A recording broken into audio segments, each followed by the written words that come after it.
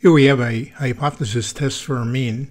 The problem states that students are supposed to spend an average of two hours studying for every hour of lecture.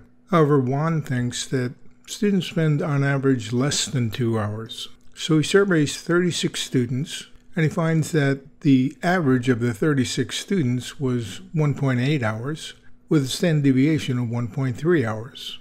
What can be concluded with a level of significance alpha equal to 0.1.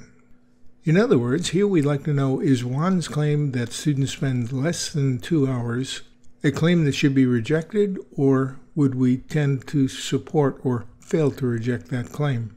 And going through the first four steps of hypothesis testing, setting up the hypothesis test, we first write the word claim, then we write the claim in symbolic form, and since this claim deals with an average, we use the Greek letter mu.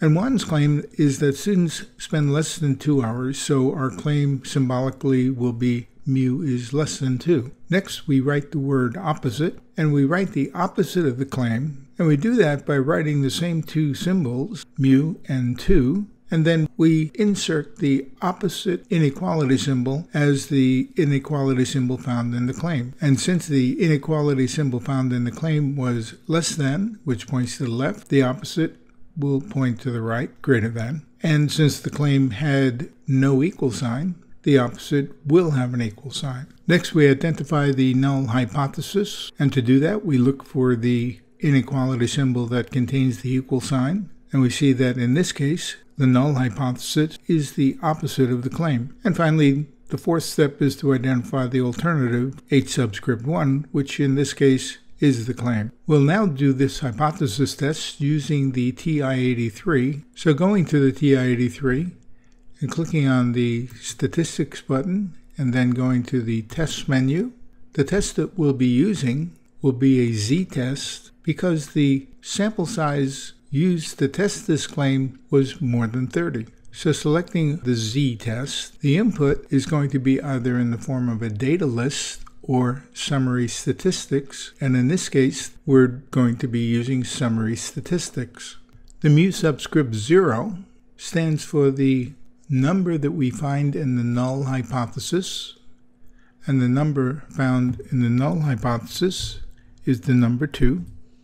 Sigma is the population standard deviation, and although we're not told the population standard deviation in this problem, we do have a sample of more than 30 students, so therefore the standard deviation of the sample, which is 1.3, can be used as a good approximation at the standard deviation for the entire population.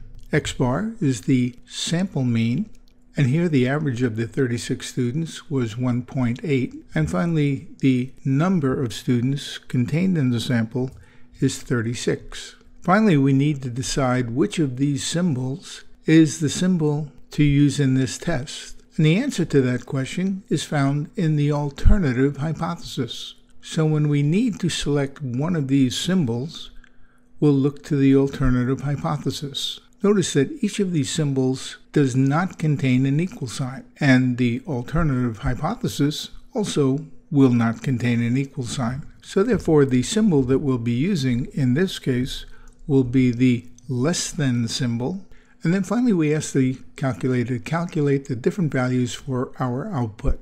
When we do so, the first thing we see is that this is indeed a z-test then we see the alternative hypothesis, which tells us that this was a test that was a left tail test.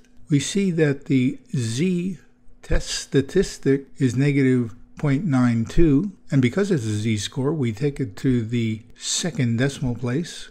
P is the p value or probability value.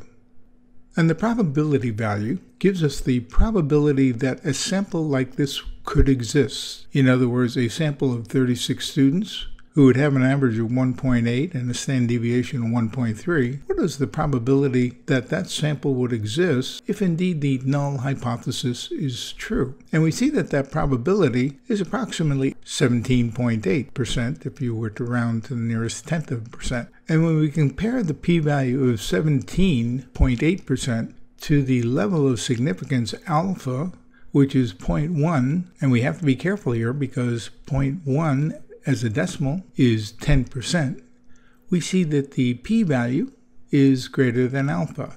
And the p-value rule says that if p-value is greater than alpha, we fail to reject the null hypothesis. In other words, we would support the null hypothesis. So, what does that mean in terms of Juan's claim? Well, that means that the null hypothesis was not rejected, and therefore, since if one of these statements is true, the other one must be false. So, at a significance level of 10%, we would support the null, fail to reject, if you like, which means we would reject the claim, which is the alternative hypothesis. So, the conclusion of this problem would be that we would reject Juan's claim that students spend less than two hours studying for every hour of lecture.